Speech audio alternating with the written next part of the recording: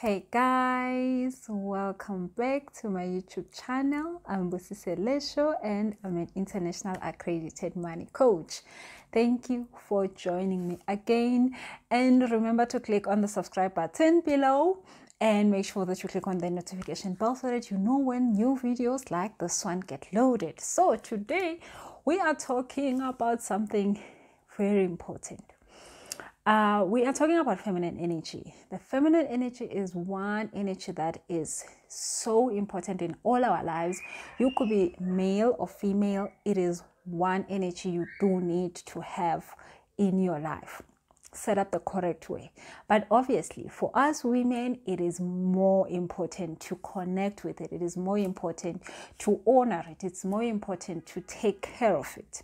So, I have um, had a lot of coaching sessions with clients, a lot of women that came to me, and they have all sorts of problems with money. You know, starting a business, not being able to make the income you want to make, having a job where you're not getting the right promotions, having, you know, a business where you are not finding the comfort that you want. You, you work so hard, you do a lot, but you're not getting what you deserve. You are not appreciated the way you want to be appreciated. People just don't think you, you, you know, everybody thinks you're a rock. You, you, you, you just can do whatever. But, um, when you have your feminine energy correct, you are the person that people will listen to. You become the person that people will want to help. You become the person where people respect and want to hear from and want to do what you say and, and, and want to please you, want to look good in your eyes, want to uh, just like, you know, make you feel comfortable. I mean, we all need this in our lives. I mean, uh, a lot of women that uh, have depression, they have depression because of how they make money. Their jobs are depressing them, their businesses are depressing them, and all sorts of other things in life. But when you have the feminine energy and you take care, take care of it, you are gonna find yourself having no problem whatsoever around being depressed because you are not given enough uh, chances, you are not given enough opportunities, you're not given what you deserve, you're not paid what you deserve. Clients are not asking for discounts, clients are actually buying from you and honoring what you're doing. So, but today I wanted us to talk with about something even more, uh, I think, important. Um, a lot of studies have said that um, single women have more money than married women. Now, I know this. When I said more money, I just say that I'm, I'm just saying a little bit uh, more financially better than uh, single women, more financially better than married women. Now, the world statistics says only 1% of women retire financially free. So again, we still have that to fix because that's not right. It can't be correct. And um, most men retire financially okay. Okay, obviously, um, that has to be put in a certain context, which um, we're not talking about that today. But what I want us to look at today is the fact that married women are normally less moneyed than single women. Single guys are less moneyed than married men. So that equation tells you something. When a guy is single, he's got less money. Once he's married, he's got more money. Um, a lady, as in her own money, a personal money, when she's single, she's got more. When she's married, she normally has less. But then, obviously, this is just like out of a million people, that's what happens. But it doesn't mean that um, married women don't have money or anything like that. But it's just it proves a certain point, which is the point that I want us to discuss today. Now, why I'm even doing this video is because a lot of um, uh, married women, when they come to me, and we, I, I help them clear their energy, I help them find their money issues, I help them heal their money story. We always find that they have a lot of limiting beliefs around the fact that they are married. so, all sorts of issues come up because um, they are married. And I'm, I'm gonna probably give you a few examples, and um, so that we can also talk about that because I mean, you find that this is an amazing woman that knows so much, that can do so much, but she is not making the money. She is totally, totally not performing at her peak because she is married.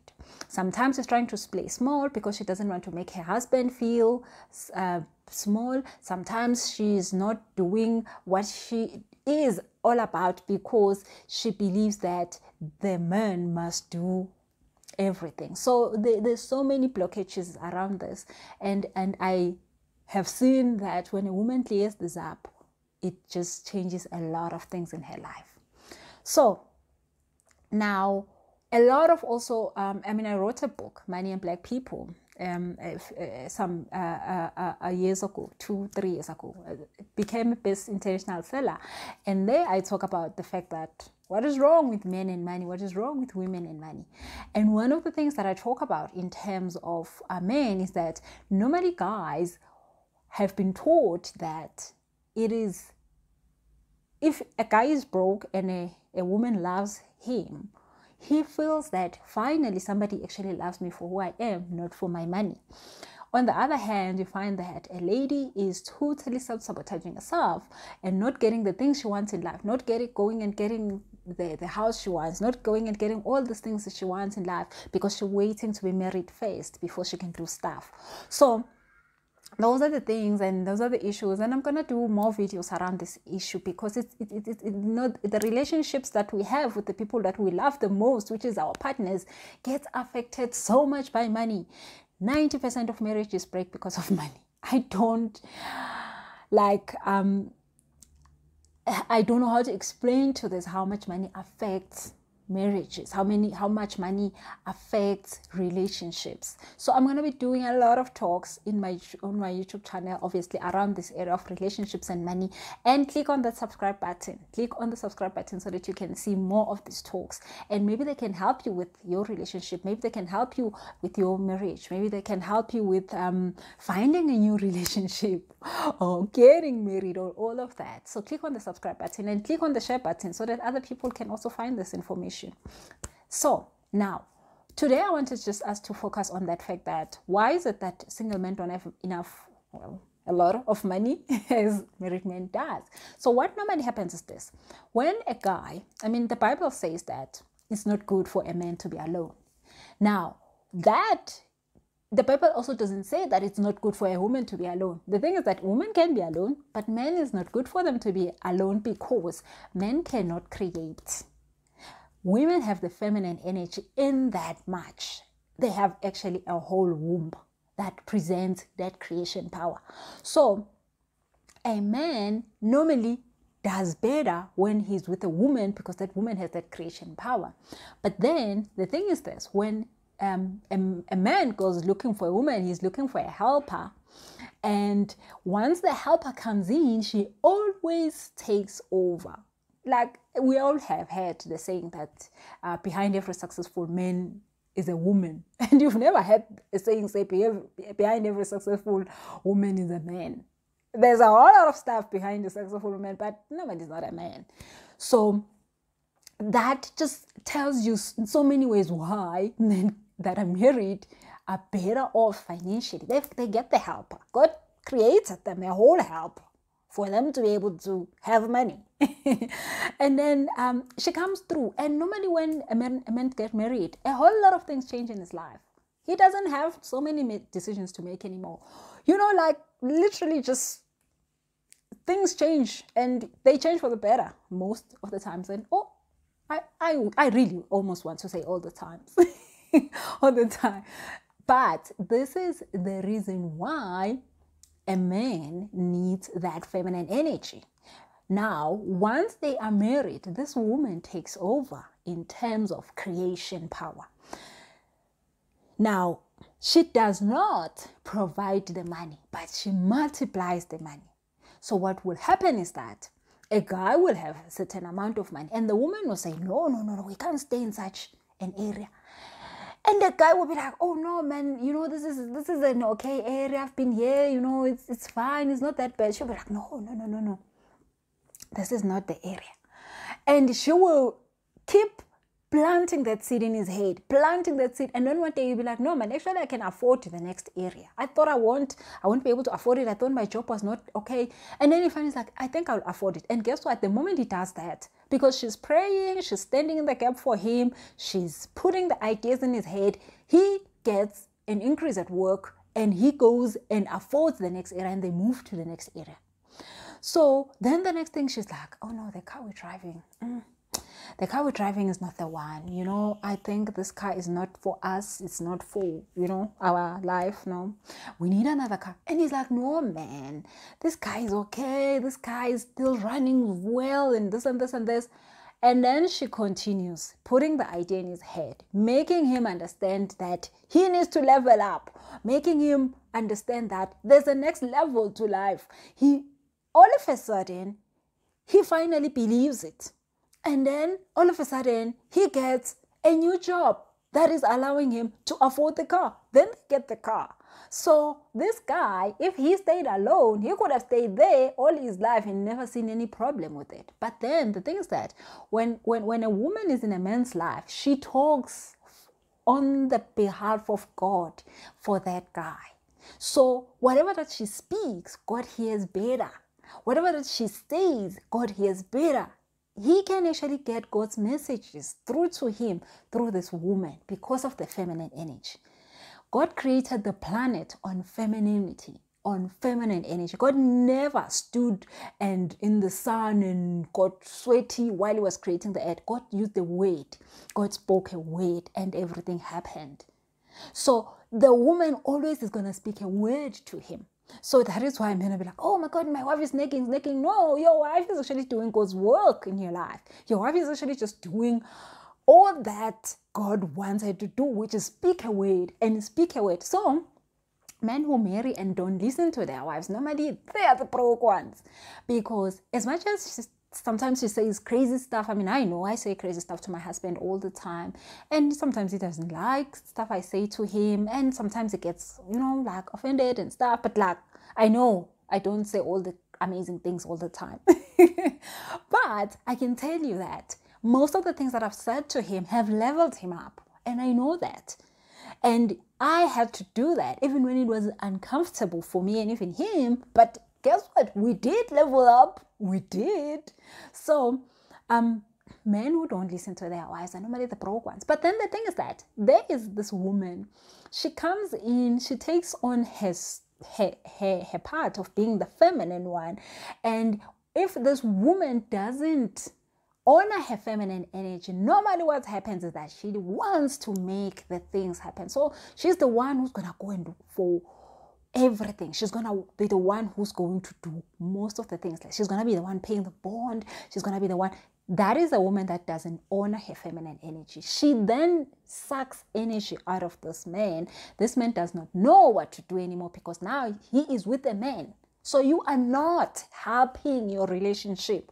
You are not helping your marriage. You're not helping that setup if you are not being a woman in that relationship you need to be a woman because that man is took you for the purpose that you're a woman. He wouldn't want to go and get another man because upon bra we are here bra. So you know so as much as we as uh, women we want to be taken care of. We want to be taken care of as like eggs. So a, a, a woman that is not feminine the man does not know how to do with her. He can't open the water for her. He can't bring her flowers. He can't take her out to eat. He can't buy her a beautiful dress because guess what? I can do it. I, I know this. I'm, I'm, I'm, I'm a rock. Uh, I can do everything. You don't have to uh, do these things for me. I'm a man myself. So a lot of women that come through my workshops have been living the man life, have been men in their in their marriages, and then he takes the romance away. It takes the love away because then it's just two men living in that house. If you are being a man in your relationship, if you are being a man in your house, you cannot bless your husband. You cannot bless your partner. You cannot make, you cannot do your job in making this family grow. But then, if you have a man who doesn't understand also the spirituality, he will not be able to listen to you. He will not be able to treat you as a feminine a being so that your femininity can then shine in his life. I mean, men with beautiful wives are honored. Men with beautiful wives when when people say where's your wife and you say there she is they already judged you as a man i mean i know um, men who have said i've gotten the best uh, project the best business deal just before I, just because i brought my wife and she looked amazing. And people respect men with beautiful women. Apparently like the only thing that a man can do to arrive in life that he can really do is, is, is have a beautiful wife. So if you are not fixing your wife to be that beauty, to be that feminine, guess what? You're missing out on your blessing.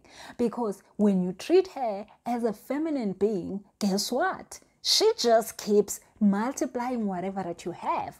But she does not multiply it by bringing you money. She does not do that. She will do that by bringing you the weight. She will do that by praying for you. She will do that by standing the gap for you. She will do that by giving you the ideas. She will do that by just being there and making sure that you get it right. So, and this is important for both men and women to understand your position understand your position because God gave us these positions for a reason. And God made us that if you are in your position, you're not going to suffer. If you're in your position, you don't have to work hard. If you're in your position, if you're a man in your position and you, you honor that femininity that is in your life and you honor your masculinity, things will go well and quick and easy. If you're a woman and you're honoring your, your, your femininity and you honor the masculine that God gave you, things will work quick and fast and easily. So we all have have that job to fix our femininity if you're a woman, to fix your masculinity if you're a man. A man that says to a woman, What do you bring to the table? That man is way, way, way, way back there. The woman brings the table plus you. She does not. You do not ask her what you bring to the table. She brought you the table, the actual table. She's the one who brought it. So you asking her, What do you bring to the table? What do you mean? So a guy that asks a woman what to bring to the table, he has no idea. A guy that asks a woman to go 50-50 with him, he has no idea what's going on here. But then again, a woman that says, oh, well, mean, I, I, I, can do this. I can do this. And she wants to go out there and, and, and, and, and put her sleeves up and physically fight for the money, physically make the money and she feels good that she's physically making the money, she does not know. She does not know what her power is. Because even at work, let's say you are a single woman, you going at work, you're not supposed to get at work and do crazy things to prove that you are the right one. You just have to Get there, bring your feminine energy, and people will listen to you. People will take your ideas. People will do your ideas, will do them as how you want your ideas to be done. They will implement, and you will be the one who gets the rewards because you are bringing your femininity. People will want to support your ideas. People will want to, to, to put you in positions of power. People will want to do all these things because your femininity says, I am here to care for everybody. I am here to give the warmth to this place if I'm not here, things are going to fall apart. I'm here to put everything together. I'm here to birth the new level. I'm here to multiply everything that is here. So that woman will never lack anything good. That woman that honors her femininity will never lack anything good because femininity is all about that easiness. It's all about that support. So if you are in a relationship and you're not in your position, things are going to go wrong. But if you're in a position, things are going to go well. But then we have not been taught, especially as a black women, we've been taught to do all the other things, all the opposite. We're taught being a man. And black men are taught that black women are strong. They can somewhat take care of you. Which is, God, no. Nobody's here to take care of anybody. Everybody's here to stand in their in their position and do their job that they are here for. So if you don't honor your femininity, if you don't do what you need to do as a feminine woman to make sure that your home and your livelihood and your happiness and your kids survives, then you do not have an idea what's up. And if you're suffering, it's probably your mistake. if you're a man and you're here and you don't understand what you need to be standing up for, you need what you need to be doing, then guess what? You are on the wrong path. You are you just you you you, just um going to suffer a lot. So I'm going to be doing a lot of talks around this. How men can can set up this thing. How women can set up their feminine energy so that it's actually beneficial to you. So that it actually serves you so that it actually makes a difference in your life. You don't want to go against the flow. You want to go with the flow so that you do not have to suffer. If if if, if the stream is going down and you're going up, you're gonna it's not gonna you're not gonna even probably get to where you're going because it's gonna be so hard. So your feminine energy is the way to make you go with the flow of where your dreams are supposed to take you. When you are in your feminine energy, you're going to flow very well. You're going to flow very well to exactly where your dreams and goals are. But you have to do the work. You have to do the feminine work to be able to stand in that place and connect with that place. So once a woman is in, in, in that relationship, in that marriage, and she's doing her part, she does not have to have a fat bank account. And I'm not saying that she doesn't have to have money. She must have her money, her own money, by the way. But she is not going to be crazy about how much money I have, how much money I've made. Hey, I make more money here in this house, da, da, da, da, da, and all those things. Because she's going to have a man who can make a whole lot. And guess what? That is her money. So she does not have to feel like I must be the one who makes the money so that I know it's my money. No, she makes the money. She knows she makes the money. And she doesn't have to sing about it. So when you find women who are singing about the fact that they make the money, guess what? They they not being their feminine energy. And they have a they, don't have that fulfillment of knowing that they're in the feminine energy. And normally that does not build, that doesn't build the house, that doesn't build their relationship, that doesn't build their kids, that doesn't build anything. You're just being a man, there's two men in the house and it's a mess. So I wanted to explain that. Why is it like that? And uh, why it is, well, I mean, you could say it's unfair, but it's, it's actually fair because everybody wins. everybody wins. Um, if um, the home is taken care of, if everybody's happy in the home, if there's enough money in the home, there's not going to be a divorce, there's not going to be trauma. We're going to have life problems, but our life problems are going to be the ones that we talk about and they, they run away. But the money problems don't. They actually bring down the relationship. They actually bring down the whole entire family. Kids get hit. Stuff happens. Stuff goes wrong. So as much as um, the, the woman is going to be in charge of leveling up in the family. The woman is always going to be in charge of leveling up, but she's in charge of leveling up because she can use her weights. She can create with her weights. So that woman needs to know how to create. That woman needs to understand manifestation. That woman needs to know exactly what to do to create because that is her job in that family. The man needs to know how to go get the money because that is his job there. But both of them are to do the work for things to work right. So, um, I, I, I have done in the past week a workshop on how to manifest, and that workshop is, is, is good for any man and woman because that is the workshop that teaches you how to do that creation process. But I think this workshop is even more critical for women because it is all about that word, that word that you need to put out, that word that you need to put out in a certain way, in a certain steps, with a certain rituals to make it stand so that it can manifest. So if you if you, you, probably did not get to come through to the workshop, the, the, the recording for the workshop is available. So send me an email, busi at busi at busiselesho.com or pa at busiselesho.com. You will be able to uh, get that recording for that um, manifestation workshop and you'll be able to understand how to do your manifestation process. But now I want to give you a few a few things that you can do to step up with your feminine energy before the end of the video. I don't want this video to be long. But also during the month of August, the 1st of August, um, this year, we're gonna be doing an workshop for women, just for women only. Uh, it's going to be for feminine energy. How to allow yourself to connect with your feminine energy. So, if you have not been connecting with your feminine energy, if you don't know how to connect with your feminine energy, if you don't even know what is feminine energy, where you and feminine energy meets up, come through to this workshop. It's going to be on the 1st of August. It's going to be on Zoom. It's going to be for the whole day. So make sure that you check my Instagram page for details on that workshop.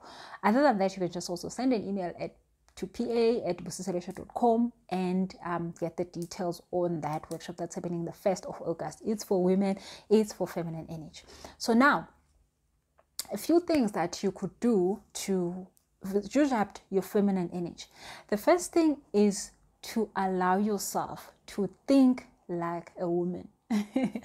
so, what do I mean, think like a woman? Now, normally we've been taught, we've been taught to think in a worry mode.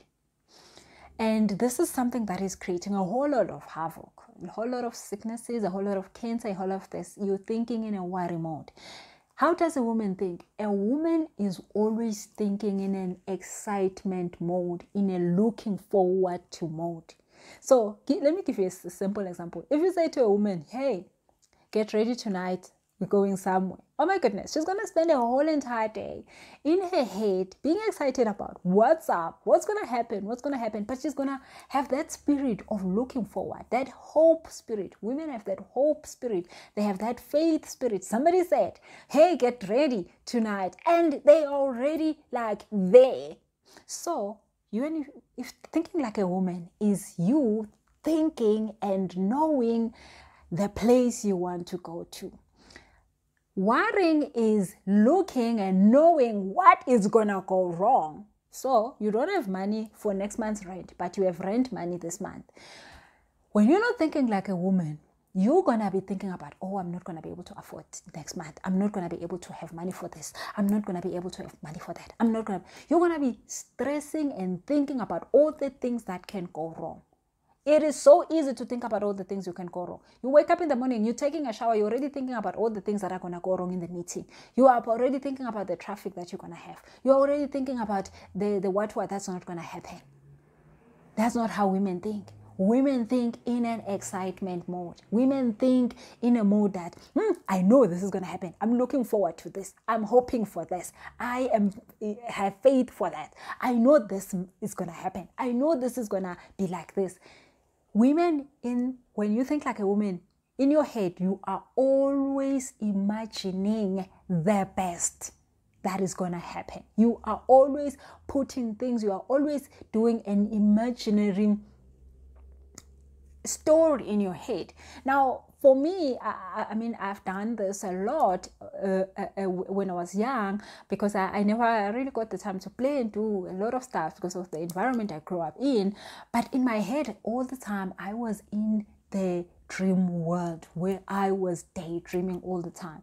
So that is what you want to use. You want to create so much energy around your imaginative mind. You want your mind to always be imagining, and you can't imagine bad things. You are going to be imagining good things. You're gonna, the more you imagine, the more you're gonna get excited. I mean, even it's been said that you can't just um, start having sex with a woman two seconds before you want to have sex with her. You need to put it in her head at 8 a.m. Because guess what? By the time it's 5 p.m., she would have imagined everything. She would now be ready. So that is how a woman thinks. That's how a woman mind is created. So use that power because that power is how creation happens.